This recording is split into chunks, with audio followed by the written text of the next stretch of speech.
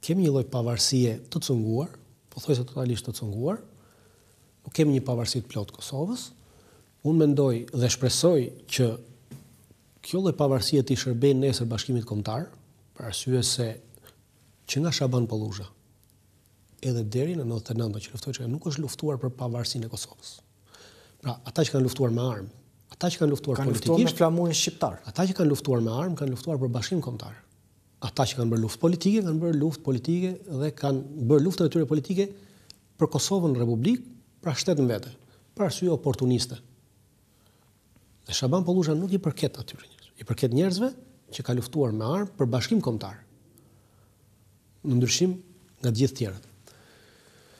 Dhe normalisht që nuk mundëm ta arritim Bashkimin Kombëtar, por shpresoj dhe uroj që kjo lloj pavarësie të jetë një hap drejt këtij bashkimi dhe të shkojmë drejt këtij bashkimi dhe jo drejt largimit. Ama veprimet që ndodhin në Kosovë po na çojnë jo drejt bashkimit, po drejt ndarjes, për arsye se vetë fakti i ngritjes të kësaj gjykate nga ana e Kosovës nën presionin e Bashkimit Europian, pra duhet të jemi të të pastër të qartë që kjo gjykatë u ngrit me presionin total të Bashkimit Europian nën ndikimin e Serbisë dhe të Rusisë. Dhe u votua nga vetë këta persona në mënyrë të pajustifikueshme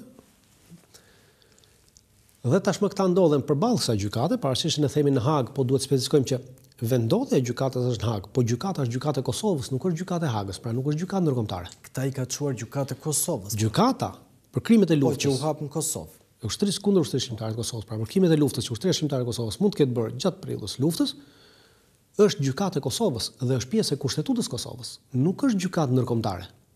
Por për arsye sigurie është vendosur që kjo gjykatë ta ketë vendqëndrimin në Hagë.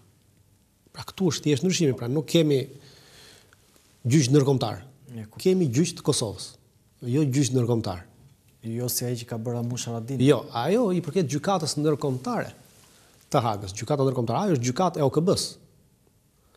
Pra këtu Gjykata e OKB-së ka bërë të njëjtat hetime që ka bërë kjo gjykatë dhe në deklaratën e saj që ka bërë në dy mijë e katër, s'e mbaj mend, në dy mijë e nëntë dhe në dy mijë e njëmbëdhjetë ka nxjerrë që nga këto nuk ka pasur prova të mjaftueshme për të ngritur akuza.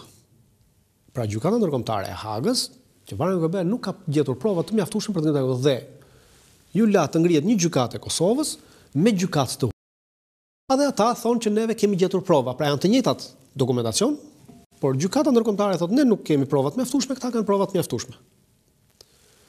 Dhe siç u pa edhe në gjykimin e parë që u bë ndaj Calit, e komandant Sali Mustafës, Sali Mustafës. Gjykimi nuk ishte objektiv, ishte një gjykim totalisht një vendim politik, pra për të dënuar pjesëtarët e Ushtrisë Çlirimtare të Kosovës me akuza të sajuara, me dëshmitarë të sajuar, të cilët nuk kishin qenë asnjëri të arrestuar ndonjëherë nga Ushtria Çlirimtare. Pra nuk mund të dënohesh në një gjykatë duke thënë që e dëgjova, më tha, i thashë. Kupton pa prova, vetëm me më tha, i thashë. Pra, u dënua dhe dënimi ishte një dënim tepër i rëndë.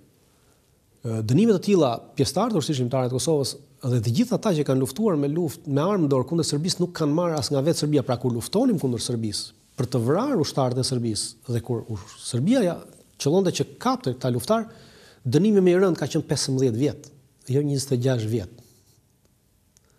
Pra, mendoj që e gjitha kjo është e qëllimshme për të dëmtuar Kosovën, për të dëmtuar Ushtërinë Çlirimtare të Kosovës dhe për të dëmtuar pavarësinë dhe është në shërbim të interesave sërbe dhe sllave në rajon për arsye se në rast se do të arrijnë të dënojnë këta njerëz me çfarëdo lloj mënyre, me çfarëdo lloj forme, nesër do mund të krijojnë idenë që kjo ishte një luftë civile, pra sepse këta kanë vrarë njëri-tjetrin dhe Serbia justifikohet që duke qenë se këta vranë njëri-tjetrin, është luftë civile, ne ndërhymë Për të ndërprerë këtë luftë civile dhe këta na sulmuan.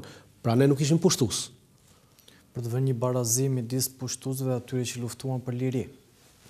Shiko, ata nuk po, ata nuk po, po mundohen që të vënë barazim. Neve, në konceptin tonë, kemi një koncept të gabuar, është krijuar në përgjithësi mund ta them, dhe më vjen keq që e them është krijuar nga media, një koncept i gabuar sikur serbët po duan të vënë barazojnë. Jo, jo, serbët Nuk po kërkojnë nivel barazimi me ne. Ata po duan të dalin mbi ne. Pra ata po duan të thonë që jo, ne ishim në rregull, këta na sulmuan. Pra nuk kemi nivel barazimi këtu.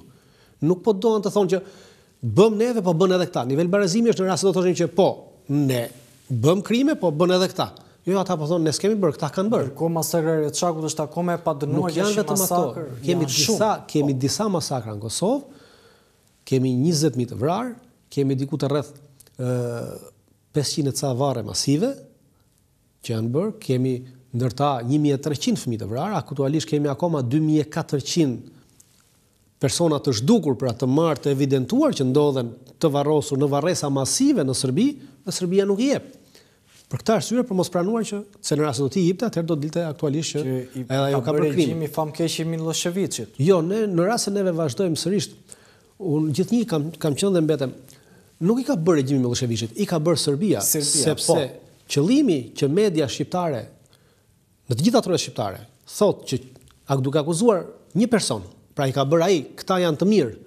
Po ky që është sot president, shteti, ka përfaqësuar. Ky që është sot president, ka qenë ministër në atë kohë të regjimit dhe ky justifikonte vrasjet duke thënë që për çdo serb do vrasim 100 shqiptarë. Pra është deklaratë e tij publike, me zë dhe me figurë. Dhe tash në rast se neve ngrihemi themi që regjimi i Serbisë, atëherë ky është burrë i mirë se të gjitha fajet i paska pasur Milloshi, s'i ka pasur Milloshi fajet. I ka sistemi, ata janë si popull sërbët që nuk na duan. Pra sepse ajo qeveri ka lindur nga ai popull, ka pasur atë mbështetje dhe vazhdon ta ketë. Ka qenë politikë. Është e tillë politika atje.